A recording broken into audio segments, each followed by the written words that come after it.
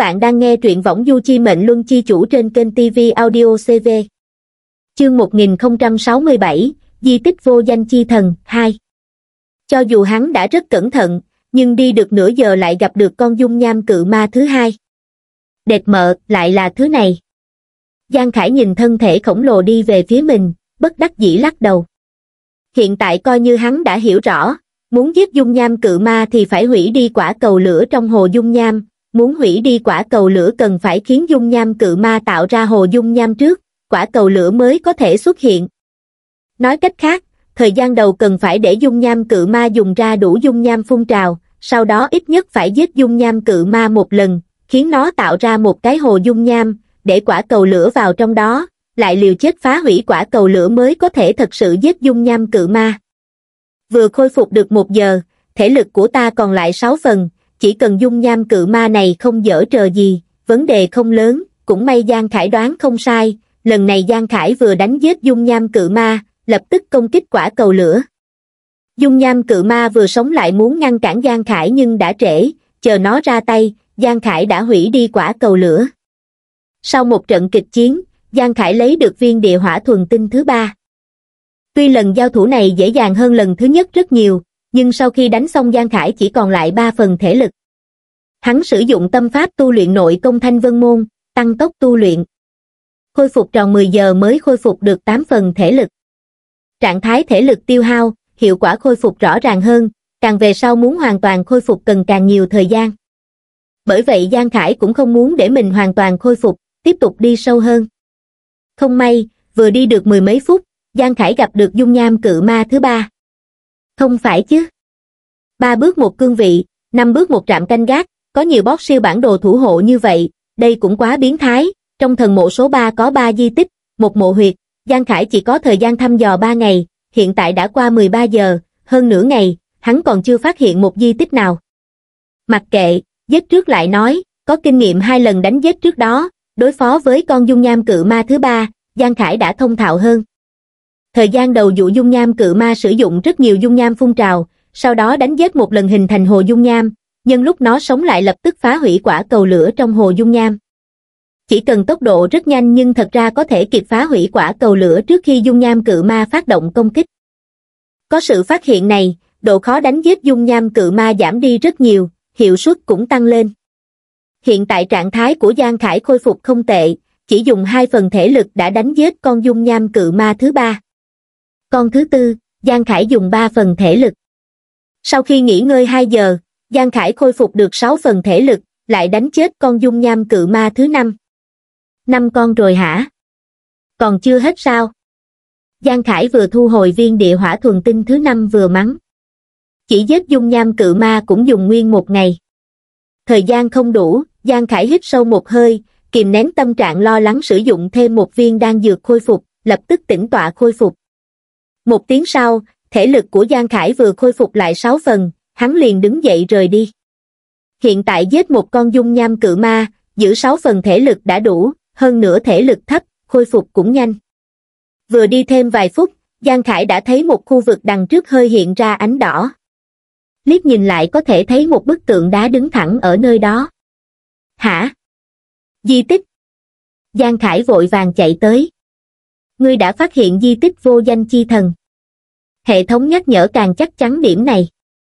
Giang Khải nhanh chóng đi đến trước di tích. tôn thần này như một tên nam tử, dưới chân có một mảnh, hồ nước, nhưng căn cứ vào thuộc tính của dung nham cự ma thủ hộ để phán đoán, trong hồ nước chắc không phải là nước mà là dung nham, chỉ là bức tượng này không cách nào thể hiện rõ ràng như vậy. Hai tay bức tượng thành trảo, lòng bàn tay dâng lên hai đám lửa, đôi mắt nhìn về phương xa, không biết đang nhìn cái gì. Sau khi phát hiện di tích, không có cách khác nhắc nhở sao? Giang Khải đang nghi ngờ, đột nhiên phát hiện, hồ nước, dưới chân tượng thần có năm lỗ khảm, lỗ khảm chỉ lớn khoảng ngón cái, đều trống không. Giang Khải nhíu mày đi đến trước một lỗ khảm, suy nghĩ, cảm thấy hình dáng lỗ khảm này khá quen thuộc. Sau đó hắn từ trong túi thẻ, đồ đợi bán, lấy ra năm viên địa hỏa thuần tinh, tìm ra một viên có hình dáng tương đồng nhất đặt vào lỗ khảm. Sau khi bỏ bảo thạch vào lại phù hợp hoàn mỹ, sau đó bảo thạch bị một tầng nham thạch bao trùm, co lại rơi xuống lòng đất. Đệt, 20 ức của ta. Giang Khải muốn tóm lấy bảo thạch của mình nhưng trong này rõ ràng là một cơ quan, hiện tại địa hỏa thuần tinh đã không biết bị co vào nơi nào, tất nhiên hắn không bắt được. Giang Khải ngẩng đầu nhìn về phía bốn lỗ khảm khác, lại nhìn bốn viên địa hỏa thuần tinh trong tay một chút. Hình dáng, kích cỡ đều đang nói cho hắn một sự kiện rất tàn khốc. Phần thiếu sót trong lỗ khảm chính là bốn viên bảo thạch này. Một viên ít nhất bán được 20 ức tinh tệ, năm viên cũng là 100 ức, phải tổn thất 100 ức. Tâm trạng hiện tại của Giang Khải còn khó chịu hơn lúc thấy dung nham cự ma, Giang Khải chia ra đặt bốn viên địa hỏa thuần tinh còn lại vào lỗ khảm tương ứng, sau đó trơ mắt nhìn năm viên địa hỏa thuần tinh bị cơ quan mang đi, vô cùng đau lòng. Theo cơ quan hoạt động, không biết năm lỗ khảm ban đầu bị chuyển đến nơi nào, nhưng xung quanh hồ nước cũng theo đó xuất hiện năm lỗ thủng. Không lâu sau, từ trong lỗ thủng chảy ra dung nham nóng hổi, chậm rãi bao trùm hồ nước. Theo dung nham tụ hợp vào trong hồ nước, bức tượng không có sức sống này bắt đầu hấp thu những dung nham này, màu sắc bức tượng cũng bị nhuộm thành màu đỏ. Lúc toàn bộ bức tượng biến thành màu đỏ lại bốc lên rất nhiều hơi nước, bức tượng này như sống lại vô cùng uy nghiêm. Giang Khải không khỏi đứng lên nhìn bức tượng này. Không phải bên trong bức tượng này có nguyên thần do vị thần minh kia để lại chứ, Giang Khải nhìn chầm chầm bức tượng, sợ bỏ qua bất kỳ chi tiết gì. Bức tượng không động đậy thật nhưng một lát sau vị trí tim bức tượng đột nhiên sụp đổ. Giang Khải giật mình, vội vàng lùi lại. Trong quá trình rút lui, hắn thấy một viên hạt châu màu đen, lúc pho tượng sụp đổ, mảnh vụn bay ra từ bên trong rơi vào dưới chân mình, còn lăn về phía trước, mãi đến khi đụng phải chân Giang Khải mới dừng lại. Giang Khải xoay người nhặt viên hạt châu màu đen lên, lúc muốn giám định lại có một giọng nói trầm thấp vang lên. Nghịch hỏa thạch, một trong chín tài liệu thiên khiển thất giai. Tuy tìm kiếm thiên đạo khó khăn nhưng nghịch thiên mà đi càng khó hơn, hy vọng các ngươi sẽ không dẫm vào vết xe đổ của chúng ta, vô danh và nổi danh, tên ta thủ hộ giả. Sau khi bức tượng kia để lại những lời này đã hoàn toàn phân chia tan rã. Giang Khải vội vàng lùi lại. Cho đến khi di tích hóa thành tro tàn, năm viên hạt châu màu đỏ tươi chảy xuống theo dòng nham thạch tràn ra bốn phía. Giang Khải vội vàng nắm lấy năm viên địa hỏa thuần tinh, nhanh chóng lùi đến khu vực an toàn. Cũng may trước di tích thần minh không có giả thú cường đại hơn thủ hộ. Nhưng tâm trạng Giang Khải mãi không thể bình tĩnh. Giọng nói vừa rồi chắc không phải nguyên thần của thần minh, nếu là nguyên thân sẽ có thể trao đổi với Giang Khải, càng giống như một tin tức do vị thần minh kia để lại trong bức tượng.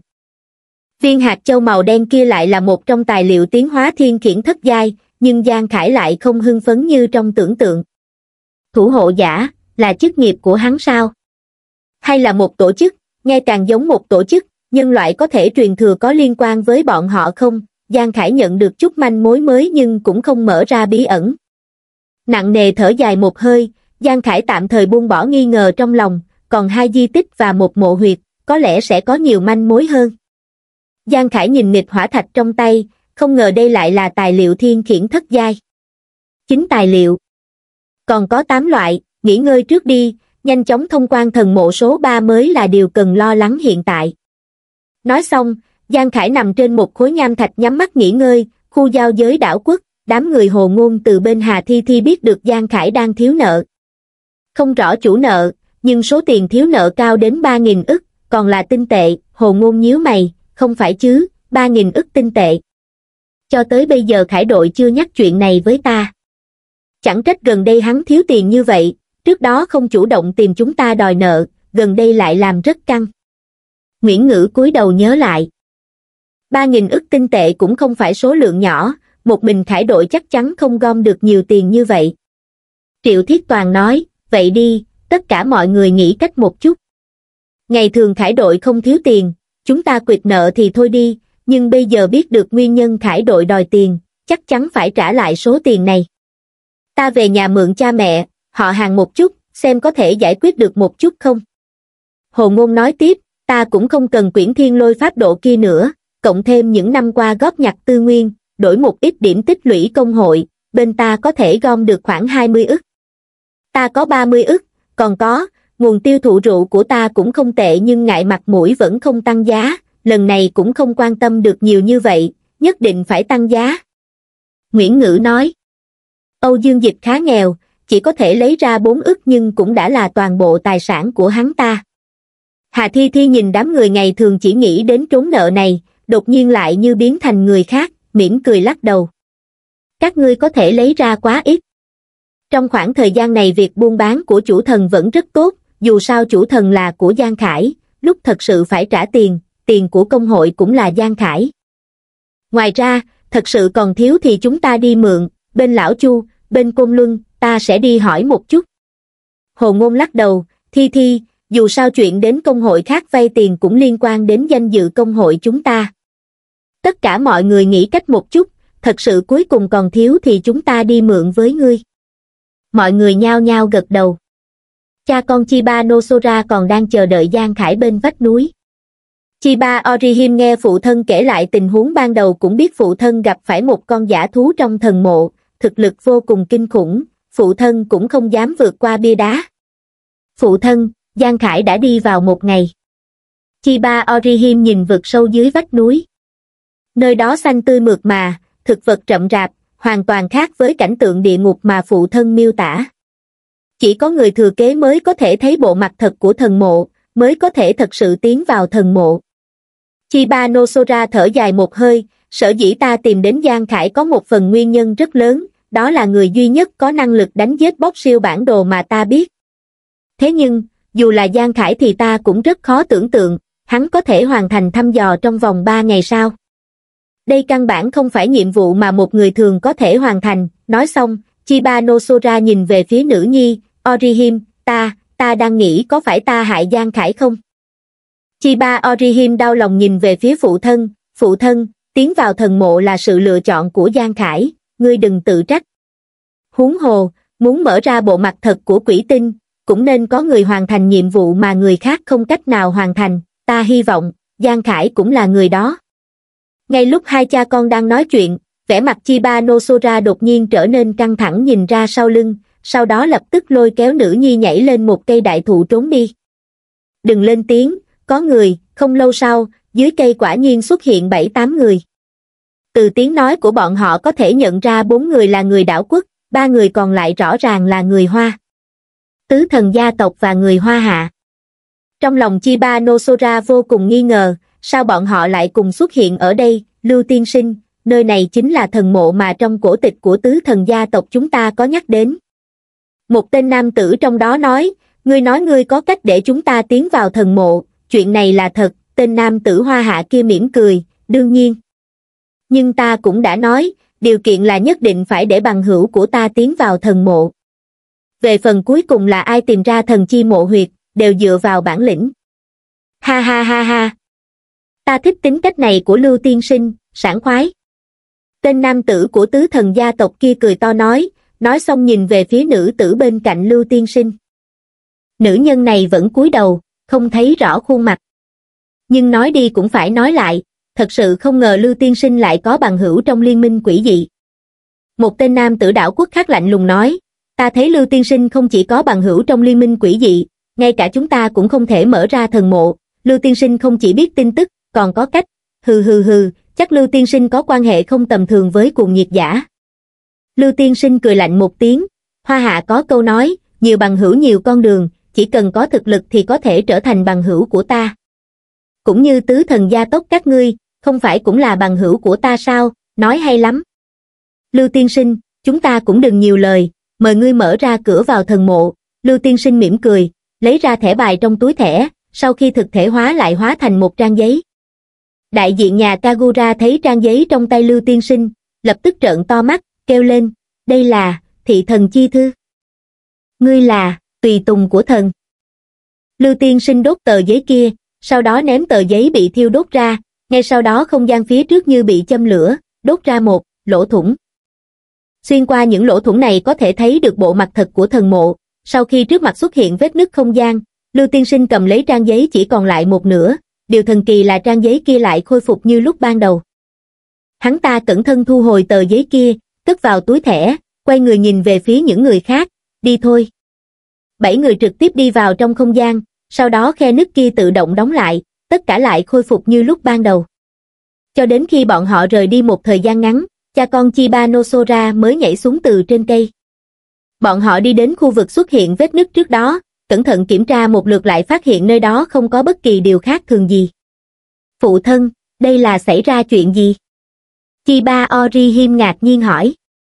Chiba Nosora lắc đầu, ta cũng không rõ lắm, nhưng, ta cũng từng nghe nói về thị thần chi thư. Rốt cuộc thị thần chi thư là bảo vật gì? Lại có thể mở ra một vết nứt không gian. Chiba Orihim vạn hỏi. Ta không biết nội dung cụ thể của thị thần chi thư, nhưng trong sách cổ của tộc chi ba chúng ta từng nhắc đến một sự kiện. Có lẽ rất sớm trước kia đã từng xuất hiện một nhóm người được gọi là tùy tùng của thần, bọn họ được thần minh chọn chúng trở thành tùy tùng của mình, chỉ là thần minh được bọn họ hầu hạ cũng không phải thần minh trong nhận thức của chúng ta.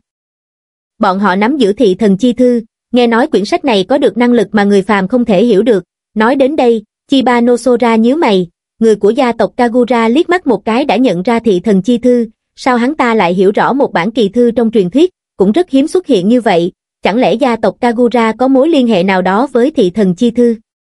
Nếu to gan hơn chút nữa, chẳng lẽ tứ thần gia tộc đều có liên quan với thị thần chi thư, còn có liên minh quỷ dị, cuồng nhiệt giả, có liên quan đến thị thần chi thư không? Tốt nhất phải tìm hiểu rõ ràng chuyện này, phụ thân, Giang Khải còn ở bên trong, bọn họ, Chiba Orihim đột nhiên lo lắng nhìn về phía khe núi. Chiba Nosora cũng nhìn về phía khe núi. Ngay cả ta cũng chưa từng thấy bốn người tứ thần gia tộc kia, đoán chừng là cao thủ bí mật đứng đầu trong gia tộc bọn họ, tên Lưu Tiên Sinh khống chế thị thần chi thư kia cũng rất khó đối phó. Tình cảnh của Giang Khải vốn đã rất khó khăn, hiện tại đột nhiên nhảy ra nhiều người cạnh tranh mạnh mẽ như vậy, hơn nữa lấy hành động nhất quán của tứ thần tộc, tình cảnh của Giang Khải càng nguy hiểm hơn, nhưng bọn họ không cách nào tiến vào thần mộ, bây giờ điều có thể làm là canh giữ bên ngoài thần mộ, chờ đến ngày Giang Khải kết thúc thời gian quy định. Giang Khải đột nhiên bừng tỉnh từ trong cơn ác mộng, mở to mắt.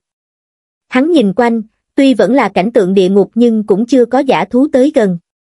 Giang Khải lắc đầu, xem ra áp lực của mình quá lớn, lúc ngủ còn mở thấy nguy hiểm đến gần. Nếu đã tỉnh, Giang Khải ngồi dậy uống chút nước, dần tỉnh táo lại. Đã qua 19 giờ, còn có 53 giờ, thời gian sắp không đủ. Nghĩ tới đây, Giang Khải cũng không dám trì hoãn nữa, nhảy xuống từ trên nham thạch. Lúc vừa đi vào thần mộ đã gặp được ba ngã rẽ. Thần mộ là khu vực đặc biệt, không ai dám xác định rốt cuộc không gian nơi này lớn đến mức nào, cách ổn thỏa nhất là quay trở lại đường cũ, sau đó đi vào hai ngã rẽ khác. Tuy quay về đường cũ phải tốn nhiều thời gian hơn, nhưng Giang Khải vẫn lựa chọn quay lại trước của vào. Ngay lúc hắn sắp rời đi, trong lúc vô tình phát hiện sau khi bức tượng vô danh chi thần này sụp đổ, phần cánh tay vẫn được giữ rất hoàn chỉnh. Điều thú vị là, tạo hình trên phần cánh tay kia như đang chỉ về đằng trước. Thấy cảnh này, Giang Khải hơi ngạc nhiên. Nơi này tầm nhìn quá thấp, hắn cũng không thấy rõ ở chỗ xa hơn có đường không. Là trùng hợp hay đang chỉ đường cho ta? Giang Khải cau mày. Nghĩ đến thần mộ có bốn nơi cần thăm dò nhưng chỉ có ba con đường, còn có một khu vực chắc không dễ tìm. Ôm tâm trạng thử một lần, Giang Khải quay người đi theo phương hướng ngón tay vô danh chi thần. Phải nhanh lên chút mới được, nếu đi nhầm còn phải quay về. Nói xong, Giang Khải bước nhanh hơn. Sau khi đi 7-8 phút, cảnh tượng trước mặt lập tức thay đổi. Thế giới tro tàn đầy trời lập tức biến thành thế giới băng tuyết ngập trời. Khắp nơi là tuyết động trắng xóa, nhiệt độ giảm xuống, vừa nãy là nóng đến cả người đổ mồ hôi, hiện tại là lạnh đến cả người run rẩy. Ở trong đống tuyết, Giang Khải thấy một tấm bia đá màu đen bị tuyết trắng vùi lấp một nửa, nhanh chóng đi tới. Hắn phủi tuyết trắng trên tấm bia đá kia, để lộ dòng chữ trên tấm bia đá. Di tích vô danh chi thần. Hả? Di tích thứ hai. Giang Khải vui mừng nói, không ngờ có một con đường gần hơn, nhưng chẳng mấy chốc Giang Khải lại than thở. Đi qua di tích thứ hai, tìm được bia đá cũng có nghĩa khi hắn vượt qua tấm bia đá này, hắn lại phải đối mặt với một đối thủ có thực lực tương đương với dung nham cự ma. Đầu tiên chờ chút. Giang Khải hít sâu một hơi, di tích thần minh trước đó cần 5 khối địa hỏa thuần tinh kích hoạt, ta đoán di tích phía sau cũng không khác nhiều. Tài liệu kích hoạt di tích chắc nằm ở chỗ thủ vệ, tìm được nhược điểm của boss là điều ta cần làm, hiểu rõ điểm này, Giang Khải rút ra truy mệnh, rút ra trảm yêu kiếm, đi qua khối bia đá thứ hai. Lúc hắn vừa bước vào thế giới băng tuyết, mặt đất ầm vang chấn động, một núi băng, chậm rãi đứng lên cách đó không xa. Đây là một sinh vật to lớn có ngoại hình tương tự với dung nham cự ma, nhưng cả người nó bị băng tuyết bao trùm, lúc nó đứng dậy còn thuận tay nhặt một thanh băng kiếm khổng lồ trên mặt đất. Thanh cự kiếm kia dài khoảng 30, 40 mét, toàn thân trong suốt sáng long lanh hiện ra khí lạnh. Si nhân chi nhãn. Giang Khải mở ra kỹ năng trước tiên. Nhược điểm ở, không phải chứ, thanh kiếm kia, Giang Khải lập tức rời khỏi trạng thái si nhân chi nhãn, hắn thấy trung tâm cự kiếm trong tay huyền băng cự ma đóng băng một khối tinh thể màu xanh thăm thẳm, xem ra, muốn lấy được khối tinh thể kia không phải một chuyện dễ dàng, trong miệng huyền băng cự ma nói lời thoại giống với dung nham cự ma. Người xông vào, giết không tha. Giết không tha, vừa lao về phía Giang Khải. Đôi mắt Giang Khải nhìn chầm chầm huyền băng cự ma, hiện tại thể lực của hắn chỉ khôi phục 7 phần, nhưng đối mặt với một đối thủ mới, Giang Khải cần thăm dò thực lực của nó trước. Trước tiên dùng thân pháp né tránh xem tên này có thủ đoạn gì. Hàng băng phun trào. Huyền băng cự ma đã phát động kỹ năng. Giang Khải vừa hạ xuống, đột nhiên cảm giác được một luồng sương lạnh băng truyền đến từ lòng bàn chân. Hắn vội vàng né tránh. Một giây sau, hắn rơi xuống vị trí trước đó, một cục băng to lớn đâm mạnh ra, xông thẳng tới chân trời, cùng lúc cục băng xuất hiện, Giang Khải chỉ cảm thấy máu trên người gần như ngưng kết, năng lực vận động của thân thể nhanh chóng giảm xuống, nếu không phải hắn chạy nhanh có lẽ mình sẽ bị đóng băng trong cột băng kia. Tương tự với dung nham phun trào, nhưng nó lại dùng cột băng, phản ứng hơi chậm một chút sẽ bị đóng bằng. Giang Khải vừa di chuyển nhanh chóng vừa tổng kết. Thử một chút xem có thể đánh nát thanh kiếm băng giết kata phê phíp không, thiên la trảm yêu kiếm, một đạo kiếm khí vạch ra, bắn thẳng đến huyền băng cự ma. Nhưng huyền băng cự ma không sử dụng băng kiếm đỡ, trước mặt nó đột nhiên ngưng kết một mặt tường băng, độ dày đạt tới 3-4 mét, một kiếm này của Giang Khải đánh vào tường băng. Còn có trò này. Xem ra nhất định phải kết hợp công kích địa diễm, tôi lửa, địa diễm. Kiếm động cửu thiên, lưu tiên sinh, bây giờ chúng ta người kia nhìn ba ngã rẽ một chút, suy nghĩ một lúc mới nói, đi đâu cũng như nhau, muốn tìm được thần chi mộ huyệt chắc chắn phải tìm được ba khu di tích trước, thiếu một thứ cũng không được. Đi con đường này trước. Nam tử họ lưu chỉ về phía con đường mọc đầy cỏ dại thảm thực vật. Ở bên Giang Khải, sau khi công kích kèm theo hiệu quả địa diễm đã có thể đánh xuyên qua tường băng. Sau khi kiếm động cửu thiên đánh xuyên tường băng, huyền băng cự ma lập tức giơ cự kiếm lên đón đỡ. Bịch một tiếng thật lớn, chỉ thấy trên băng kiếm to lớn có vụn băng bay loạn, lại bị Giang Khải đánh một kiếm chém ra một cái lỗ không nhỏ. Có thể đánh nát. Giang Khải kích động nói. Nhưng vừa nói xong, băng kiếm to lớn lập tức hấp thu rất nhiều băng tuyết, một lát sau lỗ hổng trên cự kiếm đã được chữa trị, hoàn hảo như lúc ban đầu, điều này dung nham cự ma là tự sống lại vô hạn, nhưng huyền băng cự ma lại có thể tự chữa trị băng kiếm, đương nhiên, từ băng kiếm chữa trị suy đoán có khả năng huyền băng cự ma cũng có năng lực sống lại, dù sao nhục thân của nó cũng do hàng băng đúc thành, Giang Khải vừa suy nghĩ cách đối phó, đồng thời dưới chân không dám chậm trễ chút nào, chạy. Như điên.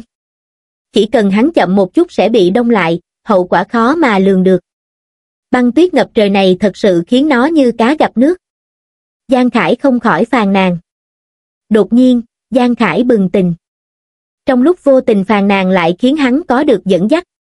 Mặc dù địa hỏa thần tinh là tài liệu cấp truyền thế nhưng hiệu quả cũng không khoa trương như vậy, dù là người cường độ hỏa diễm cấp 1 cũng chỉ có thể tăng 100 điểm cường độ hỏa diễm.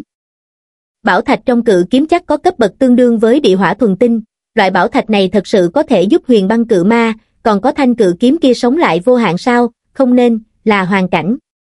Bản thân thuần tinh không có năng lực cường đại như thế, mấu chốt là hoàn cảnh xung quanh có quá lợi với nó. Giang Khải trầm giọng nói, nếu không phải xung quanh đều là thế giới băng tuyết bao trùm, viên thuần tinh kia tuyệt đối không có khả năng có được lực lượng cường đại như vậy, chỉ cần ngăn cách nó và hoàn cảnh xung quanh, nhưng muốn thay đổi hoàn cảnh xung quanh cần kỹ năng cường đại như nào, không đúng, ta có kỹ năng này. Giang Khải đột nhiên hiểu ra, sau đó khống chế đại địa thần lệnh bắn xuống lòng đất. Tốc độ của huyền băng cự ma cũng không tính quá nhanh, Giang Khải nhìn đúng thời cơ khẽ quát một tiếng, đại đại thâm uyên, mặt đất dưới chân huyền băng cự ma đột nhiên sụp đổ, một luồng lực hút to lớn hút mạnh nó xuống dưới đất.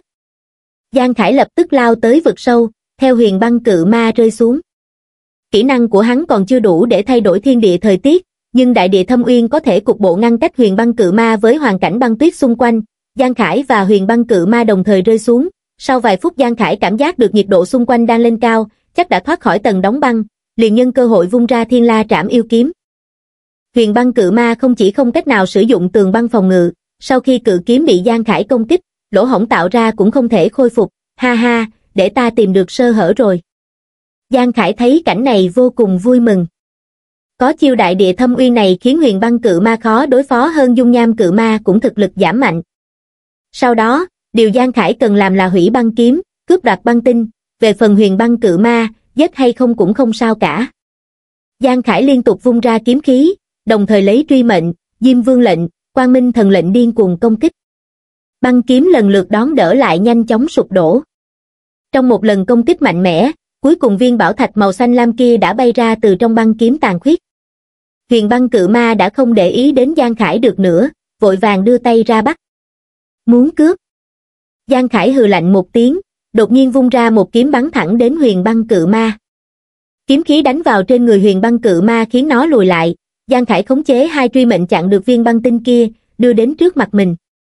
Băng tinh tới tay, Giang Khải khẽ quát một tiếng, đại địa phun trào, huyền băng cự ma và Giang Khải đều bị đại địa phun trào đưa ra ngoài, vừa về đến tầng đóng băng, huyền băng cự ma lại lợi dụng băng khí trong tầng băng hình thành tầng băng, cắt đứt xu thế của đại địa phun trào.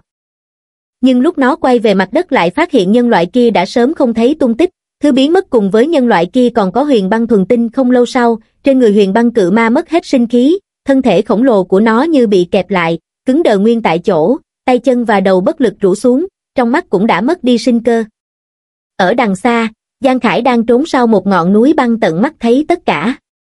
Cho nên, những thủ vệ này có khả năng không phải bót thật sự, mà là một thứ gì đó giống với khôi lỗi, Giang Khải suy đoán. Thuần tinh là ngọn nguồn năng lượng của chúng nó, chỉ cần cướp đi thuần tinh thì chúng nó đã mất đi ngọn nguồn năng lượng, mất đi lực chiến đấu. Thần mộ đúng là nơi khiến người ta khó hiểu, lại có khôi lỗi thủ vệ cường đại như vậy, thực lực có thể so sánh với bót siêu bản đồ. Giang Khải than thở một câu, sau đó lấy ra thẻ giám định, giám định băng tinh trong tay. Huyền băng thuần tinh, bảo thạch cấp truyền thế, người có cường độ hàng băng cấp một dùng ăn có thể vĩnh viễn tăng 100 điểm cường độ hàng băng của bản thể, người có cường độ hàng băng cấp 2 dùng ăn có thể vĩnh viễn tăng 20 điểm cường độ hàng băng của bản thể. Huyền băng thuần tinh cùng loại chỉ có thể sử dụng một viên. Kết quả giám định nằm trong dự đoán của Giang Khải, huyền băng thuần tinh cùng cấp bậc với địa hỏa thuần tinh. Trận chiến này khiến ta tiêu hao không nhỏ, nhưng so sánh với dung nham cự ma thì tốt hơn nhiều. Giang Khải nói thầm. Dù sao đánh dung nham cự mà cần đánh giết bót ít nhất một lần, nhưng đánh huyền băng cự ma dùng cách trước đó thì không cần giết, trực tiếp hủy băng kiếm cướp đoạt băng tinh là được. Cứ vậy, chẳng những tiết kiệm rất nhiều thể lực tiêu hao, quan trọng hơn là hiệu suất tăng lên rất nhiều. Nếu huyền băng cự ma sau đó cũng giống như vậy, vậy có lẽ ta có thể một lượt xông đến sau cùng. Giang Khải đứng lên nhìn về phía trước. Nơi đó có vô số núi băng có to có nhỏ, không biết tòa nào là huyền băng cự ma. Đã tìm được đường tắt, vậy cửa ải này sẽ tiết kiệm thời gian hơn chút. Nói xong, Giang Khải nhanh chóng chạy về phía trước. Ba giờ ngắn ngủi, Giang Khải tranh đoạt năm khối huyền băng thuần tinh, sau cùng phát hiện di tích thần minh thứ hai. Ngươi đã phát hiện di tích vô danh chi thần. Giang Khải ngẩng đầu nhìn về phía bức tượng thần minh trước mặt. Bức tượng này có kích cỡ tương đương với bức tượng trước đó, chỉ là một nữ tử phong hoa tuyệt đại, chiều cao khoảng 7, 8 mét, tay nắm một thanh cự kiếm, dưới chân nàng có 5 cây cột đá. Giang Khải có thể tưởng tượng được, vị thần minh này có khả năng cũng dùng một thanh băng kiếm, cột đá dưới chân chắc tượng trưng cho việc nàng có năng lực khống chế băng thứ. Dưới đáy năm trụ đá có năm lỗ khảm, Giang Khải từ từ đặt năm viên huyền băng thuần tinh vào lỗ khảm. Không lâu sau, cột đá lần lượt lui xuống mặt đất, lỗ thủng do cột đá để lại dâng lên rất nhiều băng khí lạnh lẽo bám vào trên bức tượng, hình thành một tầng băng. Lúc cả bức tượng hoàn toàn bị tầng băng bao trùm, vị trí trái tim bức tượng đột nhiên nổ tung. Lúc nổ tung, một hạt châu màu xanh rơi ra, Giang Khải đưa tay bắt lấy nó. Một giọng nói dịu dàng vang lên. Nghịch hàng thạch, một trong chín tài liệu thiên khiển thất giai. Thiên khiển giả, nghịch thiên mà đi, thiên tất khiển chi. Không ai biết nó sẽ mang đến hy vọng hay hủy diệt càng triệt để hơn, ta nghi ngờ nhưng chúng ta đã không có lựa chọn nào khác. Vô danh cùng nổi danh, tên ta thủ hộ giả.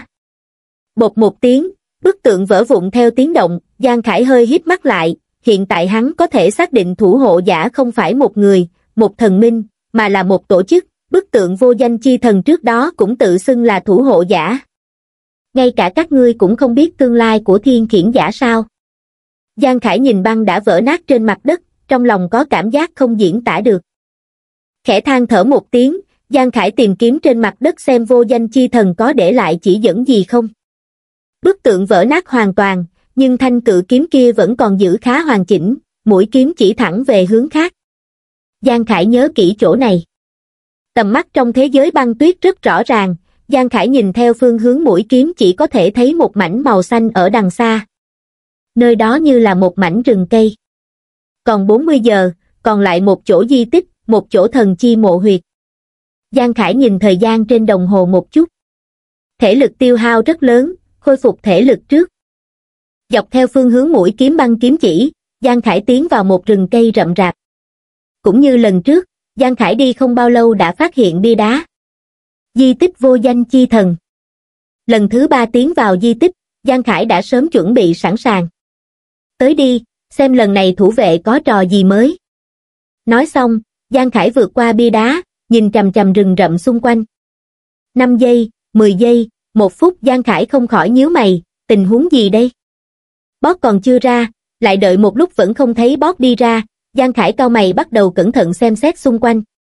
Vừa đi không bao xa, hắn thấy phía trước có mảng lớn cây cối sụp đổ, bãi cỏ có dấu vết bị chà đạp, ở cách đó không xa còn phát hiện rất nhiều mảnh gỗ đứt gãy. Những mảnh gỗ này không giống cắt ra từ trên cây cối, độ cứng dây leo vượt ra khỏi sự tưởng tượng của Giang Khải, nếu không dùng kỹ năng, một kiếm sẽ chém không đứt. Hơn nữa còn có rất nhiều dây leo mềm dai như vậy rải rác khắp nơi. Chẳng lẽ, là bóp để lại sau khi giải thể? Giang Khải cây mày. Tình huống hiện trường rõ ràng là dấu vết sau trận chiến kịch liệt. Nhưng hiện tại hắn là người thừa kế thần mộ duy nhất, sau nơi này có thể có những người khác.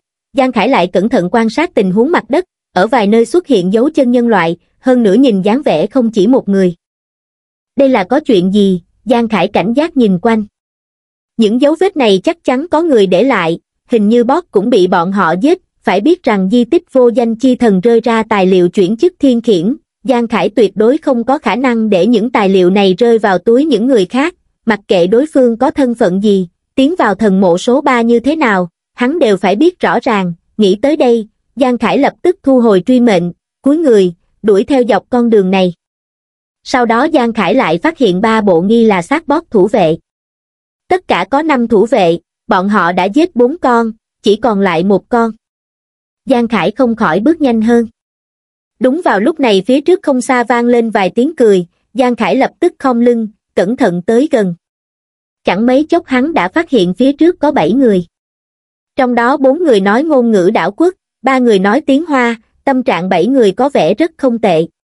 Người phát ra tiếng người là một tên nam tử đảo quốc, hắn ta vỗ vai nam từ bên cạnh, nói, có lưu tiên sinh ở đây, đúng là làm ít công to, chỉ cần sử dụng tàn trang thị thần chi thư là có thể lấy đi năng lượng cốt lõi của những thủ vệ này, chúng ta căn bản không cần ra tay.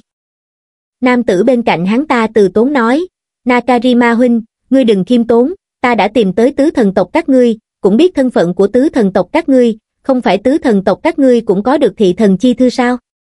Nếu không, vì sao ta vừa lấy ra tàn trang, Kagura huynh đã nhận ra tấm tàn trang kia là tàn trang thị thần chi thư, bốn tên nam tử đảo quốc nhìn nhau, cũng không nói gì thêm. Tên nam tử hoa hạ kia mỉm cười, tất cả mọi người đều là tùy tùng của thân, tuy nói có khả năng chủ nhân mà chúng ta hầu hạ không giống nhau, lợi ích khác biệt tất nhiên sẽ có cạnh tranh, nhưng, các ngươi cũng không cần giả vờ giả việc điều này với ta, tiếp đó, người kia nhìn bốn người tứ thần gia tộc không nói lời nào, cười lạnh một tiếng, mục đích chuyến này của chúng ta cũng không phải những di tích vô dụng này, mục đích của chúng ta là thần chi mộ huyệt. Cái gọi là di tích chỉ là giấy vết. Do người thời đại kia để lại, cho dù có chút tác dụng nhưng với chúng ta cũng không có ý nghĩa quá lớn, nhưng thần chi một huyệt lại khác, trong thần chi mộ huyệt rất có thể có thứ chúng ta cần.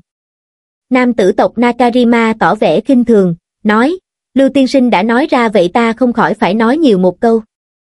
Chúng ta đều là tùy tùng của thần, ngươi gọi những phế vật kia là, thần minh, chẳng phải đang bất ký với chủ nhân của chúng ta sao, ở trước mặt chủ nhân, bọn chúng không khác gì sâu kiến, Lưu Tiên Sinh cười nói, Nakajima huynh cũng quá nhạy cảm, chỉ cần trong lòng ngươi và ta hiểu rõ thần minh mà chúng ta hầu hạ là sự tồn tại cấp bậc hoàn toàn khác với những thần minh ít ngồi đáy giếng được thờ phụng bọn họ là được.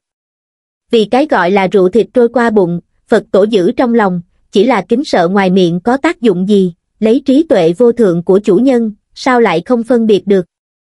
Đúng không, Mizuno huynh, nam tử tộc Mizuno hừ lạnh một tiếng, Lưu Tiên Sinh lại là người không câu nệ tiểu tiết, nhưng lời nói của Lưu Tiên Sinh lại hợp ý ta. Các nơi trên toàn cầu đều có tùy tùng của thần, nhưng thật sự có thể làm được chuyện lại có bao nhiêu, chỉ có điều, mỗi người chúng ta đều quản lý chức vụ của mình, đến lúc đó phát hiện thần chi mộ huyệt phải xem ai có bản lĩnh lấy được bảo vật, Lưu Tiên Sinh khẽ cười một tiếng, đó là tất nhiên. Sau đó nghiêng đầu nhìn về phía hai đồng bạn. Có hai người này ở đây, lần này hắn ta không thể thua, Giang Khải từ một nơi bí mật gần đó nghe được cuộc nói chuyện của mấy người này lập tức trợn to mắt, nhìn chầm chầm nam tử họ Lưu kia. Lưu Viễn Hương. Tên kia vừa mở miệng, Giang Khải đã nhận ra hắn ta. Hoa Thiên Thần đã từng nói với Giang Khải, trên cơ bản bên Hoàng gia đã xác định hoạt động phạm tội của bọn họ, nhưng Hoàng Kiến Quốc còn đang trốn tránh, trên cơ bản đã có thể chắc chắn huynh đệ Hoàng Đạt, Hoàng Vĩ sẽ bị luật pháp nghiêm trị. Chỉ là tên Lưu Viễn Hương này giảo hoạt đa đoan, ngay cả quân đội cũng không có chứng cứ xác thực, đến nay còn nhẫn nhơ ngoài vòng pháp luật, dù thế nào Giang Khải cũng không ngờ lại thấy Lưu Viễn Hương đi cùng tứ thần tộc đảo quốc trong thần mộ số 3, Giang Khải không chỉ nhận ra Lưu Viễn Hương, hắn còn nhận ra một người bên cạnh Lưu Viễn Hương. Người mặc áo bào đen, đội nón đen chính là Phệ Tâm. Nhưng hắn lại không nhận ra tên đi bên cạnh Phệ Tâm. Tên kia mặc một bộ quần áo màu đen, cả khuôn mặt chỉ lộ ra một đôi mắt. Nhìn từ bóng lưng, chiều cao của hắn ta khoảng 1m78, thân trên rất cường tráng. dáng người này lại khiến Giang Khải nghĩ đến một người. Không phải là Hoàng Kiến Quốc chứ, về điểm này, Giang Khải cũng không thể xác nhận, nhưng lại khiến hắn để ý tên kia nhiều hơn. Tùy tùng của thần là chức nghiệp gì? Giang Khải hơi hít mắt lại, Lưu Viễn Hương và Tứ Thần Tộc đều là tùy tùng của thần, có vẻ không giống một loại chức nghiệp nào đó, dù sao một bên là Hoa Hạ, một bên là đảo quốc, lúc đầu không chung chức nghiệp, sau này cũng không có chi nhánh chức nghiệp giống nhau. Chắc là một tổ chức, tại sao lại xuất hiện một tổ chức nữa, Giang Khải vừa biết một thủ hộ giả, hiện tại lại thêm một tùy tùng của thần. Nếu lại thêm quân đội, liên minh quỷ dị, cùng nhiệt giả, thế giới này hình như trở nên càng ngày càng phong phú, tùy tùng của thần đều có tàn trang thị thần chi thư. Thị thần chi thư lại là cái quỷ gì, nếu không phải bên kia có quá nhiều cao thủ, Giang Khải Hận không thể lao ra bắt lấy Lưu Viễn Hương ngay bây giờ, cẩn thận hỏi thăm cho rõ ràng. Lần trước Giang Khải và Đông Ly liên thủ đã khiến vệ tâm phải chạy trốn, nếu đơn đấu, cộng thêm sau đó thu hoạch được thiên hỏa sư và chiến thần chi liên, chưa chắc Giang Khải đã đánh không lại nàng, nhưng bên cạnh vệ tâm còn có mấy người. Thân phận của tứ thần tộc cũng không tầm thường, nếu bọn họ vì tranh đoạt thần chi mộ huyệt mà phái ra bốn người này, vậy thực lực chắc chắn không kém. Huống chi, hiện tại thực lực của Giang Khải chỉ khôi phục được 7 phần. Tóm lại, hiện tại lao ra rất không sáng suốt. Không ngờ Lưu Viễn Hương còn có thân phận này, chủ nhân của hắn là ai? Từ thái độ kinh miệt cùng với cuộc nói chuyện vừa rồi của mấy người này, hình như chủ nhân của bọn họ có thực lực mạnh hơn những thần minh này. Đáng chết, bọn họ vào bằng cách nào? Ta chỉ có một mình, muốn cướp bảo vật ở di tích thứ ba và thần chi mộ huyệt thì hơi rắc rối, Giang Khải cao mày, trong đầu không ngừng suy nghĩ cách đối phó. Lưu Viễn Hương cảm thấy di tích vô danh chi thần sẽ không rơi ra thứ gì tốt, nói rõ hắn không biết việc tài liệu thiên khiển, quyết không thể để hắn biết việc tài liệu thiên khiển, hiện tại trong tay đám người Lưu Viễn Hương có bốn viên bảo thạch khảm nạm, muốn cướp được nhất định phải đánh bại những người này. Đối với Giang Khải hiện tại gần như không có khả năng, nhưng hình như bọn họ cũng không biết mình cũng ở trong thần mộ, có lẽ có thể lợi dụng điểm này. Nghĩ tới đây, Giang Khải lại nhìn đồng hồ một chút. Thời hạn của hắn còn có 40 giờ, Giang Khải hơi hít mắt lại, 40 giờ, thời gian vẫn còn khá dư giả, Lưu Viễn Hương, đã có duyên như vậy, vậy ta chỉ có thể chơi đùa với ngươi, lấy trạng thái hiện tại của Giang Khải, giao thủ chính diện với đám người Lưu Viễn Hương hiển nhiên không sáng suốt. Nhưng thuần tinh của thủ vệ ở di tích thứ ba đã có bốn con rơi vào trong tay đám người Lưu Viễn Hương, phải nghĩ cách giải quyết. Nghĩ tới đây, Giang Khải lách qua đám người Lưu Viễn Hương, đi thẳng đến di tích thứ ba. Có kinh nghiệm hai lần tìm kiếm di tích trước, Giang Khải rất thuận lợi tìm được di tích vô danh chi thần thứ ba. Bức tượng thần minh ở di tích này là một tên nam tử nhân loại khoảng trên dưới 50 tuổi, có sợi râu thật dài, vẻ mặt bình thản, hai tay mở ra đặt ngang trước ngực. Ở bên chân thần minh điêu khắc một số hoa cỏ không gọi nổi tên. Tôn thần minh này như là hòa mình vào tự nhiên, lại như đang cầu khẩn cái gì đó. Nhìn vẻ ngoài của bức tượng này khiến Giang Khải không khỏi nhớ đến hình tượng thần nông thấy trong sách vở trước kia. Đương nhiên, Giang Khải cũng chưa từng thấy thần nông, không cách nào xác định thân phận thật của thần minh này. Đám người Lưu Viễn Hương hình như dùng thủ đoạn nào đó, có thể rất nhẹ nhàng xử lý bót thủ vệ, Giang Khải tự biết thời gian gấp gáp không thể chậm trễ nữa. Hắn vội vàng đi đến trước mặt tượng thần, xem xét bốn phía. Trên bệ của bức tượng quả nhiên cũng có năm lỗ khảm, nhìn kích cỡ và hình dáng chắc để đặt thuần tinh. Giang Khải lập tức dùng một ít đất vàng trộn với nước và bùn, lấy lỗ khảm làm khuôn mẫu, làm thành năm hòn đá nhỏ có hình thái khác nhau, lấy địa diễm thiêu đốt hông khô. Sau đó dùng bùn đất dư thừa lấp đầy lỗ khảm, dùng trảm yêu kiếm sang bằng, lại dùng địa diễm hông khô, che lại tất cả năm lỗ khảm ở chỗ này. Sau đó rải một chút bụi đất ở bên trên cố gắng khiến năm nơi này có màu sắc không khác gì xung quanh, sau cùng dùng ít cỏ dại che lại. Sau khi xử lý hoàn tất, Giang Khải đơn giản nhìn thoáng qua. Vẫn có chút khác biệt với chỗ khác nhưng vấn đề không lớn, đám người Lưu Viễn Hương lần đầu tiên phát hiện di tích chắc chắn không biết việc lỗ khảm. Lúc Giang Khải phát hiện di tích thần minh thứ nhất suýt nữa bỏ qua cơ quan lỗ khảm, nếu lúc ấy có người đóng lại lỗ khảm, dù là công nghệ rất vụng về thì Giang Khải cũng không phát hiện điều khác thường. Về phần vì sao Lưu Viễn Hương không biết bí mật di tích, thật ra rất đơn giản.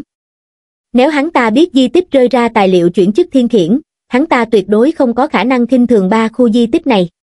Sau khi xử lý tốt lỗ khảm, Giang Khải lại làm năm hòn đá nhỏ đặt trên tay phải của tôn thần minh này. Hy vọng bọn họ có thể phát hiện những hòn đá này có hình dáng tương tự với thuần tinh trong tay mình, Giang Khải nói thầm. Đúng vào lúc này, Giang Khải cảm giác được mấy đạo khí tức sinh mệnh đã đi đến chỗ cách sau lưng mình một hai trăm mét. Đến nhanh như vậy.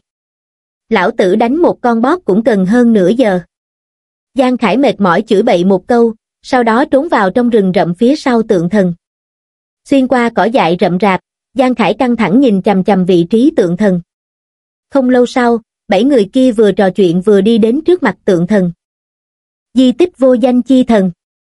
Xem ra lúc đó tên này cũng chỉ là loại vô danh.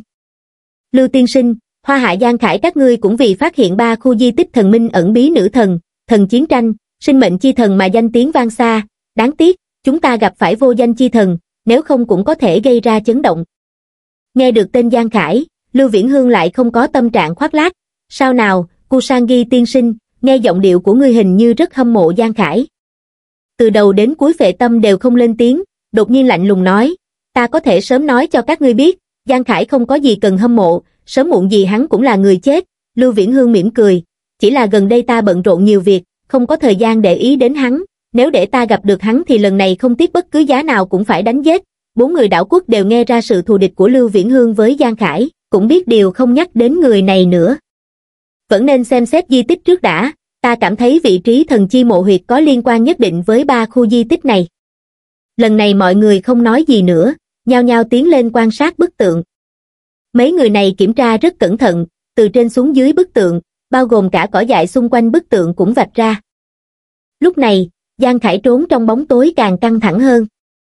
Hắn đóng lại ngụy trang lỗ khảm cũng không tính là không chê vào đâu được, dựa theo trình độ cẩn thận tìm kiếm của bọn họ, rất có thể bị người ta phát hiện. Quả nhiên, một tên nam tử đã ngồi xổm xuống, lấy tay sờ một lỗ khảm bị Giang Khải bịt lại, cau mày, hắn ta đã phát hiện nơi này hơi đặc biệt, thậm chí bắt đầu dùng ngón tay móc trái tim Giang Khải nhảy lên tận cổ họng, sợ người kia phát hiện lỗ khảm. Nhưng đúng lúc này, nam tử mặc quần áo đen bên cạnh Lưu Viễn Hương đột nhiên mở miệng. Các vị không cần tìm nữa, ta đã phát hiện, nghe giọng nói của người này, Giang Khải lập tức giật mình. Người này chắc chắn là Hoàng Kiến Quốc đang lẫn trốn, không ngờ hắn ta còn đang lăn lộn với Lưu Viễn Hương. Mấy người khác đều ngạc nhiên nhìn về phía Hoàng Kiến Quốc. Nhìn ánh mắt mê man của những người khác, Hoàng Kiến Quốc mỉm cười như đã tính trước nói, lúc vừa phát hiện bức tượng, ta đã phát hiện ra. Các ngươi nhìn cục đá trên tay bức tượng này đi, dù là hình dáng, kích cỡ, có phải đều giống với năm viên sinh mệnh thuần tinh mà chúng ta lấy được trước đó không? Cứ như một khuôn đúc ra, trải qua sự nhắc nhở của Hoàng Kiến Quốc, những người khác lập tức phát hiện được điểm này. Hít, đúng là giống như đúc, lực quan sát của vị bằng hữu này lại vượt xa người thường, trước đó ta còn tưởng những cục đá kia vì thời đại xa xưa, trùng hợp có đá vụn rơi vào trong tay bức tượng, nhưng hiện tại xem ra những cục đá này cũng không phải ngẫu nhiên xuất hiện. Ngay cả người đang ngồi xổm ở chỗ kia, muốn móc ra thứ bao trùm lỗ khảm cũng không khỏi đứng lên, nhìn về phía cục đá trong tay bức tượng. Thật sự giống như đúc, Giang Khải thở phào nhẹ nhõm một hơi. Những người này phân tích tuyệt đối không sai, hình dáng cục đá thật sự được khắc ra theo khuôn mẫu của thuần tinh, hơn nữa sự xuất hiện của bọn nó hoàn toàn không phải tình cờ. Là hắn để lên Giang Khải đột nhiên nghĩ đến, nếu không đừng lộ ra hành tung của Hoàng Kiến Quốc. Có hắn ta ở bên cạnh Lưu Viễn Hương cũng khiến người ta có một loại cảm giác an toàn. Dù sao đến thời khắc mấu chốt, vẫn phải là Hoàng Kiến Quốc. Tất nhiên Hoàng Kiến Quốc không biết, người đánh giá hắn ta cao nhất ở đây lại là Giang Khải núp trong bóng tối. Nhưng vẻ mặt như ở trong mộng mới tỉnh của những người khác, Hoàng Kiến Quốc mỉm cười, ta suy đoán chúng ta cần đặt sinh mệnh thuần tinh trong tay bức tượng, sắp xếp dựa theo trình tự cục đá ban đầu, chắc sẽ có chút hiệu quả. Lưu Viễn Hương nhẹ gật đầu, dựa theo đề nghị của Hoàng Kiến Quốc để phệ tâm cầm 5 viên sinh mệnh thuần tinh trong tay bọn họ, từng viên tương ứng thay thế cục đá trong tay tượng đá. Sau khi viên sinh mệnh thuần tinh cuối cùng về vị trí, quanh một tiếng, toàn bộ xung quanh bức tượng bị một ngọn lửa màu xanh lam bao phủ, bức tượng như sống lại. Một giọng nói trầm thấp hùng hậu vang lên từ trong bức tượng. Thuần tinh quý vị, không thể di chuyển, muốn tìm thần mộ, quay về vị trí ban đầu chờ đợi trăm ngày, manh mối tự xuất hiện. Nam tử tộc Miruno nhíu mày nói, có nên để lại một người trông coi thuần tinh không? Lưu Viễn Hương hừ lạnh một tiếng, nhìn về phía người nhà Miruno, nói, Miruno cung muốn đề phòng ai? Mặc kệ để lại người nào, ta tin tưởng những người khác sẽ không yên tâm. Ta từng nói mục đích của chúng ta là tìm kiếm thần chi mộ huyệt, trước khi thấy thần chi mộ huyệt, ta nghĩ giữa chúng ta tốt nhất giữ việc hợp tác. Đi thôi, chúng ta cùng quay về lẳng lặng chờ tin lành là được. Cho đến khi đám người Lưu Viễn Hương rời khỏi một đoạn thời gian, Giang Khải mới chui ra từ trong rừng rậm phía sau bức tượng. Hắn lập tức nhảy lên người bức tượng, gỡ xuống năm sinh mệnh thuần tinh. Hắc hắc, ngay cả bóp cũng không cần giết, trực tiếp lấy được năm viên thuần tinh. Lão Lưu, Lão Hoàng, cảm ơn. Giang Khải cười ha hả nhanh chóng gỡ ra lỗ khảm bị chặn lại, đặt sinh mệnh thuần tinh tương ứng vào trong đó. Sau khi đặt năm viên sinh mệnh thuần tinh vào lỗ khảm, cơ quan phát động, rất nhiều dây leo duỗi ra từ trong lỗ thủng, cuốn chặt lấy bức tượng. Từ thực vật rễ cây chảy ra chất lỏng màu xanh, hòa vào toàn bộ bức tượng, cả bức tượng dần có sinh khí. Dựa theo tình huống hai di tích trước đó, Giang Khải đã chuẩn bị sẵn sàng chờ đợi tượng thần nổ tung. Nhưng lúc này bức tượng không nổ tung. Chất lỏng màu xanh như là máu, sau khi truyền khắp cả pho tượng cành lá khô héo rơi lả tả trên đất. Nhưng đúng lúc này Giang Khải đột nhiên thấy con ngươi bức tượng nhúc nhích, hắn ta lại nhìn về phía mình. Sau đó bức tượng mở miệng nói, tiểu tử, thật thông minh. Giang Khải trợn to mắt nhìn bức tượng, ngươi, ngươi, nguyên thần, không sai, bức tượng không cách nào gánh chịu nguyên thần của chúng ta nhưng những thực vật kia có thể, ta đã từng cất giữ một phần nhỏ nguyên thần vào những thực vật này, bọn chúng không ngừng sinh sôi, phần nguyên thần của ta cũng được giữ lại, không ngờ tượng thần nơi này còn có nguyên thần, Giang Khải vô cùng kích động, nói, tiền bối, ta có rất nhiều nghi ngờ, cứ chờ chút, ta đã nói ta chỉ giữ lại cực ít nguyên thần. Trong những thực vật kia, ý nghĩa sự tồn tại của ta cũng là gắn bó thần mộ, tìm kiếm người thừa kế, ngoài ra cũng vì chỉ dẫn ngươi tìm tới thần chi mộ huyệt. Thế nhưng, trong lòng Giang Khải có quá nhiều nghi ngờ, khó khăn lắm mới tìm được một tiền bối giữ lại nguyên thần, tất nhiên không cam tâm. Tiểu tử, vấn đề của ngươi vẫn nên giữ lại tự tìm đáp án đi, hơn nữa ngươi đã lựa chọn con đường thiên khiển, ta nghĩ chắc chắn còn có những người khác chỉ dẫn ngươi. Giang Khải thở dài một hơi. Chắc là có một người chỉ dẫn cũng là vị tiền bối dân cờ bạc kia, nhưng mình chỉ từng gặp hắn ta một lần. Có thể thấy còn có nhân loại sống sót cũng coi như không uống phí nhiều năm chờ đợi.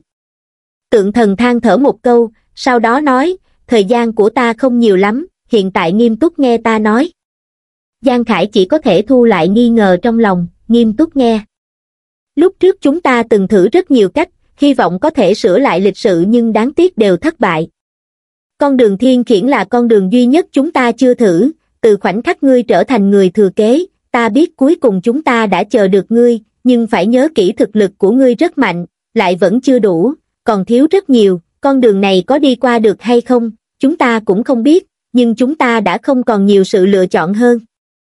Chúng ta dùng thời gian sau cùng, hao hết năng lượng để luyện ra tài liệu thiên khiển siêu phàm thất giai, nhưng điều chúng ta có thể làm cũng chỉ giới hạn ở đây. Có thể tăng lên đến siêu phàm bát giai không, thậm chí có thể tăng lên đến giai đoạn nhân thần hay không còn phải dựa vào chính ngươi. Sắc mặt Giang Khải nghiêm nghị, bốn tên thần minh thời đại kia hợp lực mới lấy được tài liệu thiên khiển siêu phàm thất giai, phải biết rằng giai đoạn thiên khiển chỉ tương đương với giai đoạn siêu phàm, bốn vị thần minh này rõ ràng là sự tồn tại vượt qua giai đoạn siêu phàm một giai đoạn lớn. Ngay cả bọn họ cũng phải trả giá to lớn như vậy, có thể nghĩ được độ khó khi thu hoạch tài liệu còn lại, ngoại trừ chỗ ta, còn có hai di tích cất giấu tài liệu chuyển chức thiên khiển, ngươi đã lấy được, cộng thêm nghịch sinh thạch ở chỗ ta, ngươi có tất cả ba loại tài liệu. Sau loại còn lại đều ở trong thần chi mộ huyệt, thần mộ ở ngay dưới chân ta, chờ sau khi bức tượng sụp đổ, ngươi lập tức tiến vào. Ở trong quan một còn có vài thứ mà chúng ta để lại cho ngươi, nhớ phải lấy đi hết. Còn có một phần manh mối tài liệu siêu phàm bát giai, nhớ lấy, nói xong, trong miệng tượng thần bay ra một hạt châu màu xanh, chậm chậm bay đến trước mặt Giang Khải. Đây đã là nghịch sinh thạch, loại tài liệu thứ ba, giọng nói kia càng lúc càng mờ nhạt nhưng vẫn chưa hoàn toàn biến mất. Nên nói đã nói xong, ta còn có chút thời gian, ngươi có nghi ngờ gì nhanh hỏi. Giang Khải hơi ngạc nhiên, mình còn có thời gian đặt câu hỏi, vấn đề khiến hắn cảm thấy hoang mang thật sự quá nhiều, tượng thần lại đột nhiên cho hắn cơ hội đặt câu hỏi, trong chốc lát đầu óc Giang Khải loạn thành một bầy. Nhanh lên, tượng thần đang thúc giục gấp gáp, trong lúc vội vã Giang Khải lại hỏi, là chủng tộc nào tập kích nhân tộc? Có liên quan gì với quỷ tinh, giọng nói kia nói, lúc trước nhân tộc từng mạnh nhất vạn tộc, cường giả vô số, người tập kích nhân tộc là, còn chưa nói hết câu, bịch một tiếng, bức tượng trực tiếp nổ tung, Giang Khải gấp đến độ vào đầu bức tai, vị tiền bối kia sắp nói ra phần mấu chốt, không phải chỉ. Chỉ thiếu một giây. Giang Khải vô cùng hối tiếc, hắn đừng do dự thêm một giây thì tốt. Tuy Giang Khải không nhận được đáp án mong muốn, lại ngoài ý muốn biết một tin tức quan trọng khác. Trước đó hắn vẫn cho rằng trong di tích văn minh cổ Hoa Hạ nhắc đến một tộc mạnh nhất vạn tộc, người xâm lấn nhân tộc cũng là chủng tộc mạnh nhất này. Nhưng vị tiền bối thần minh này lại nói, nhân tộc mạnh nhất vạn tộc, nhân tộc mạnh nhất vạn tộc. Giang Khải cũng hơi không dám tin điều mình nghe được. Cách nói này, có thể nói hoàn toàn lật đổ tất cả suy đoán của Giang Khải và quân đội Hoa Hạ. Đầu tiên, câu nói này đã phủ nhận suy đoán trước đó của bọn họ. Tiếp theo, nếu nhân tộc mạnh nhất vạn tộc, vậy là ai gần như diệt tuyệt cả nhân tộc đây? Sau khi bức tượng nổ tung, vị trí cái bệ xuất hiện một cái hố to. Giang Khải nhìn cái hố to kia cũng không dám trì hoãn nữa, chỉ có thể kìm nén nghi ngờ trong lòng thu hồi sinh mệnh thuần tinh, thả người nhảy lên, nhảy vào trong đó. Chiều sâu của thần chi mộ huyệt vượt qua 100 mét, nhưng phạm vi lại không lớn như dự tính của Giang Khải. Dù sao thần chi mộ huyệt cũng phải là loại cung điện ngầm mới đúng, nhưng nơi này rõ ràng chỉ là một gian mộ huyệt dưới lòng đất rộng 130, 140 mét 2. Ngoại trừ một bộ quan tài to lớn đặt chính giữa mộ huyệt, chỗ khác không có bất kỳ điều khác thường gì, cũng không cất giữ vật phẩm gì. Nhưng bức tượng đó động một tí là 7-8 mét, mười mấy mét, quan tài thần mình to lớn cũng không kỳ lạ. Đây là lần đầu tiên Giang Khải thật sự tiếp xúc với thần minh cổ đại trên mặt ý nghĩa, hắn cẩn thận đi đến trước quan tài. Trước đó vị thần minh kia nói, bảo vật cất giữ trong quan tài gỗ, Giang Khải nhất định phải mở quan tài ra mới được. Giang Khải cung kính lạy ba cái với quan tài. Làm phiền tiền bối, hy vọng tiền bối đừng trách tội. Nói xong, Giang Khải lấy ra trảm yêu kiếm cắm vào biên giới quan tài, nảy nắp quan tài ra. Nhưng sau khi Giang Khải cậy mở nắp quan tài, bên trong bay ra một đám bụi đất. Tất cả kết thúc, Giang Khải thấy bộ hài cốt nằm trong quan tài. Kích cỡ hài cốt tương đương với với nhân loại, khoảng 1,7 mét, nhìn cấu tạo xương cốt chắc là một nữ tử. Quan tài lớn như vậy, thứ nằm bên trong lại là một bộ xương trắng kích cỡ người bình thường, điều này khiến Giang Khải hơi bất ngờ. Chẳng lẽ chúng ta bị những bức tượng đó lừa, thật ra nhân loại ở thời đại kia cũng không khác với chúng ta bây giờ, bên cạnh hài cốt đặt một cái hòm gỗ màu tím đen, Giang Khải thở dài nói với hài cốt, làm phiền tiền bối nghỉ ngơi, ta lấy đồ sẽ đi ngay. Nói xong, Giang Khải cẩn thận leo lên trên quan tài, lấy đi hòm gỗ. Sau khi mở ra hòm gỗ, Giang Khải phát hiện trong rương gỗ có 6 hạt châu màu sắc khác biệt, hắn lập tức giám định 6 hạt châu. Nghịch mộc thạch, nghịch kim thạch, nghịch hồn thạch, nghịch thủy thạch, nghịch thổ thạch, nghịch phong thạch. Cộng thêm nghịch hỏa thạch, nghịch hàng thạch, nghịch sinh thạch trong tay ta, đã đủ 9 loại tài liệu. Giang Khải vô cùng kích động. Nếu không phải thần mộ hạn chế thời gian với hắn, hiện tại hắn đã có thể chuyển chức siêu phàm thất giai, thần mộ có hạn chế thời gian với Giang Khải, Giang Khải không cách nào hoàn thành chuyển chức trong thời gian còn lại, hắn chỉ có thể cất kỹ tất cả tài liệu chuyển chức. Ngay phía dưới sáu loại tài liệu chuyển chức còn đặt một tấm da dê, Giang Khải cầm lên, phát hiện bên trên có văn tự thể tiểu truyện. Lợi dụng chức năng phiên dịch của người không biết sợ, Giang Khải đọc được nội dung bên trên. Tài liệu thiên khiển không thể cùng tồn tại thời gian dài, bởi vậy bốn người chúng ta chia ra bảo tồn. Sau khi thu thập đủ tài liệu cần dung hợp trong vòng 3 ngày, cũng nhanh chóng hoàn thành chuyển chức. Tài liệu thiên khiển bát giai có khả năng tồn tại ở dưới ba khu, thú sào chi đô, vạn quốc chi hải, cổ thần chiến trường, nhưng vật đổi sao dời không biết lúc này đang ở đâu, cần linh hoạt đối phó. Thiên khiển giải, thiên hằng khiển chi, con đường phía trước long đông, thậm chí gây họa cho tộc nhân, người đời không hiểu, vạn người chỉ rõ. Không quên sơ tâm, cuối cùng gặp trời quang mây. Thấy nội dung trên tấm da dê, Giang Khải cao mày. Lời nói do vị tiền bối này để lại khiến Giang Khải có một loại dự cảm không may tạm thời thu hồi tấm da dê, Giang Khải kiểm tra đồ còn lại trong hòm gỗ. Một bộ mặt nạ, một viên bảo ngọc, một tấm bản đồ. Giang Khải từ từ giám định. Nhân hoàng diện cụ, đồ vật hiện thực, không cách nào giám định. Giang Khải nhíu mày, mặt nạ này là từ hiện thực đưa đến quỷ tinh. Không biết có được tác dụng gì. Bổ thiên thần ngọc, cấp thần khí dành riêng duy nhất, không hạn chế đẳng cấp, có thể mang ra hiện thực, mang theo thuộc tính cơ sở của bản thể, tất cả thuộc tính tăng 10%, thuộc tính tăng thêm của bổ thiên thần ngọc được coi là thuộc tính cơ sở, hưởng thụ sự tăng phúc của tất cả trang bị khác với thuộc tính cơ sở. Hiệu ứng đặc biệt bảo cụ, tăng xác suất phát động sự kiện lại tỷ lệ của trang bị, thiên phú, kỹ năng, hiệu quả tăng trăm phần trăm.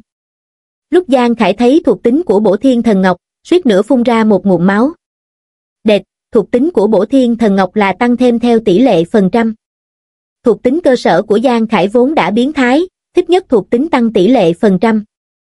Điều khoa trương hơn là, bổ thiên thần ngọc thêm thuộc tính trực tiếp tính vào trong thuộc tính cơ sở, thuộc tính biến thái tạm thời bỏ lại sau, hiệu ứng đặc biệt của bổ thiên thần ngọc chỉ có một cái, nhưng hiệu ứng đặc biệt này trực tiếp khiến Giang Khải trợn tròn mắt nhìn. Tất cả tỷ lệ hiệu quả gia tăng trăm phần trăm. Tỷ lệ siêu cấp cấp bội là 3%, có bổ thiên thần ngọc trực tiếp thêm đến 6%. Còn có tỷ lệ bạo kích, hiện tại trang bị trên người hắn cộng lại, không tính hiệu quả xếp chồng bạo kích của truy mệnh, tỷ lệ bạo kích là 38%, sau khi gấp bội cũng là 76, nếu lại thêm 20% trạng thái dân liều mạng, sau khi gấp bội cũng là 40% tỷ lệ bạo kích, hoặc không cần mở dân liều mạng, phối hợp xếp chồng bạo kích của truy mệnh, chỉ cần lần đầu tiên Giang Khải không ra bạo kích, tỷ lệ bạo kích lần thứ hai sẽ tăng tới 106%, cũng chính là chắc chắn ra bạo kích, quan trọng nhất là, bổ thiên. Thần Ngọc không có hạn chế đẳng cấp, hiện tại hắn có thể sử dụng, đệt, đây chính là trang bị của những thần minh đó sao? Điều này cũng quá kinh khủng. Giang Khải khiếp sợ nói, có bổ thiên thần Ngọc, sau đó ta muốn không ra bạo kích cũng khó khăn, kìm nén tâm trạng kích động, Giang Khải nhìn về phía món vật phẩm cuối cùng. Đây là một tấm bản đồ, không có cái gì để giám định, Giang Khải hoàn toàn không biết khu vực vẽ trong bản đồ, nhưng trong bản đồ có một vị trí đánh dấu đỏ. Chẳng lẽ là tàn bảo đồ? Giang Khải lắc đầu. Hắn cũng không biết khu vực trong bản đồ ở đâu, dù biết đây là bản đồ do thời đại kia để lại, cũng không biết trải qua bao nhiêu năm, ai biết bảo vật còn ở đó không? Sau này gặp lại rồi nói sau. Ngay lúc Giang Khải thu hồi bản đồ, sau lưng hắn xuất hiện một đạo truyền tống môn. Thấy truyền tống môn, Giang Khải thở vào nhẹ nhõm một hơi. Nơi này chắc là cánh cửa rời khỏi thần mộ số 3, cuối cùng không cần trở lại điểm ban đầu, đến lúc đó gặp được đám người Lưu Viễn Hương vẫn khá rắc rối. Nơi này đã xuất hiện truyền tống môn, điều này có nghĩa Giang Khải đã hoàn thành thăm dò thần mộ số 3.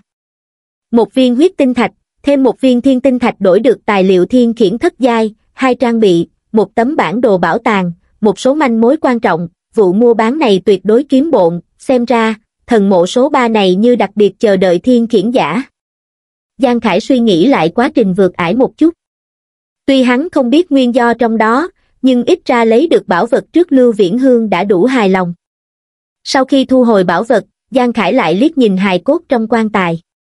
Tuy ta có thể lừa được Lưu Viễn Hương trong chốc lát nhưng sớm muộn hắn cũng phát hiện, một khi hắn phát hiện mình bị lừa chắc chắn sẽ quay lại đây, đến lúc đó hắn sẽ phát hiện chỗ mộ huyệt này. Nghĩ đến thủ đoạn hèn hạ của Lưu Viễn Hương, Giang Khải cảm thấy để lại di cốt của vị tiền bối muốn giúp đỡ mình ở đây, e rằng sẽ bị Lưu Viễn Hương trút giận. Tiền bối, bên ngoài còn có một nhóm người, nếu ta để lại ngươi ở nơi này chắc chắn sẽ bị bọn họ kinh nhờn.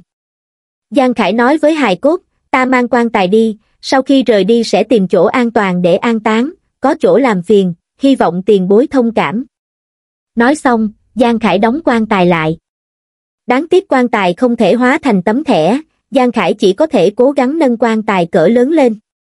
Nhắc đến cũng kỳ quái, vì sao xác vị tiền bối này lại ở quỷ tinh, Giang Khải đột nhiên nghĩ đến nhân hoàng diện cụ, đó là các tiền bối đưa từ hiện thực vào quỷ tinh, có lẽ ở thời đại của bọn họ sự ngăn cách giữa quỷ tinh và hiện thực cũng không rõ ràng như vậy, hoặc là thực lực của bọn họ đã cường đại đến trình độ có thể mơ hồ giữa hư và thực. Càng nghĩ, Giang Khải càng quyết định cùng mang quan tài đi, tránh để xảy ra chuyện ngoài ý muốn. Hơn nữa có thể lừa dối Lưu Viễn Hương, nghĩ tới đây, Giang Khải không do dự nữa, dùng sức nâng quan tài lên đi về phía truyền tống môn. Trước khi đi, Giang Khải quay đầu nhìn thoáng qua, hừ lạnh một tiếng, Lưu Viễn Hương, các ngươi muốn đi, vậy tốt nhất làm sớm, đừng đợi đến khi ta đột phá siêu phàm thất giai lại trở ra, lúc này bảy người Lưu Viễn Hương, Hoàng Kiến Quốc, Vệ Tâm và từ thần tộc đảo quốc đang xây dựng cơ sở tạm thời ở gần cửa vào thần mộ. Bức tượng thần đó nói để bọn họ yên lặng chờ trăm ngày, đến lúc đó manh mối thần mộ tự xuất hiện. Hôm nay là ngày đầu tiên bọn họ chờ ở chỗ này, còn có 99 ngày, không vội. Hoàng Kiến Quốc đang đắc ý giảng giải mình làm thế nào phát hiện điểm đặc biệt của năm cục đá với bốn vị bạn bè quốc tế. Lưu Viễn Hương cũng không biết nói gì cho phải, Hoàng Kiến Quốc luôn không có tác dụng gì lại lập được công lớn vào lần này cũng không dễ dàng. Lúc nhàm chán, Lưu Viễn Hương vừa nghiêng đầu đã thấy vệ tâm ngồi bên cạnh. Hắn ta đi tới, vệ tâm, tranh đấu thần mộ còn cần dựa vào ngươi. Vệ tâm không ngẩng đầu, lạnh nhạt nói, đã biết.